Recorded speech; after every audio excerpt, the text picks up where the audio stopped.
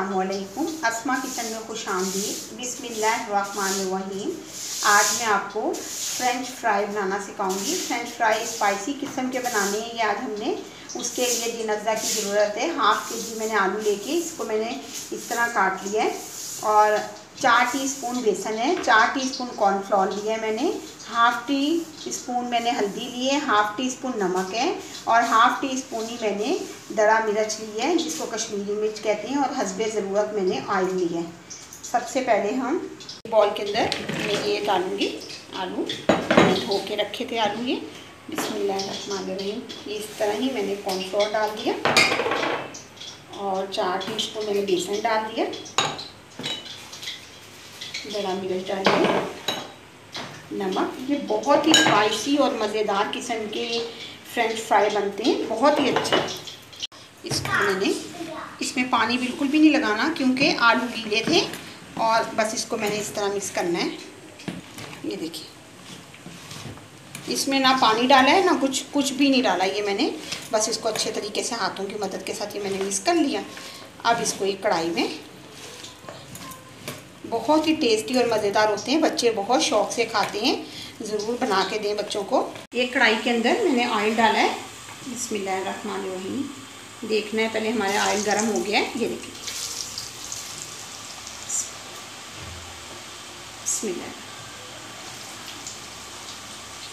आपके घर मेहमान आ जाते हैं और आप घर में कोई ना हो तो फौरी फटाफट आप बना के उनके आगे सर्व कर सकते हैं, उनके साथ चाय के साथ आप पेश कर सकते हैं, मेहमानों को भी। और बच्चे तो बहुत ही शौक से खाते हैं, बच्चों को लंच में बना के दें अकेडमी टाइम ट्यूशन टाइम बच्चे जब जाते हैं, उनको ज़रूर घर की बनी हुई चीज़ें बना के दें। मज़ेदार, ये देखिए हम हो गए। अब हम इसको अच्छे तरीके से इस तरह करके अब ये सारे सारे सही हो गए बहुत ही टेस्टी और यमी बनते हैं ये। आप पहले अगर इसको चमचा को चला देंगे ऑयल के अंदर तो सारा जो मसाला, बेसन और जो कॉर्नफ्लोर वगैरह लगाया, ये सब उतर जाते हैं। मसाला बिल्कुल अलग हो जाता है ऑयल में, घी के अंदर। तो आप इस तरह करें कि आप ज़रा सा पकने के बाद चिप्स को फिर दोबारा ये देखिए इस तरह करें।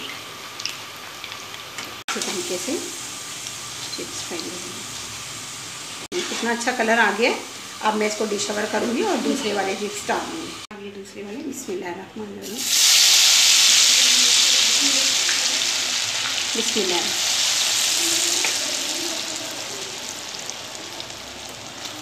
डाल दिए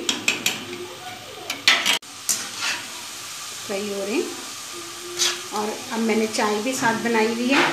और गरम गरम चाय के साथ साथ ये मैं फ्रेंच फ्राई खाऊँगी। और मज़े के साथ साथ बिस्किट हैं और बच्चे भी और हम भी। गरम गरम ये भी तैयार हो गए। अब इसको भी मैं डिश करने लगी हूँ और आप लोगों के साथ शेयर करती हूँ।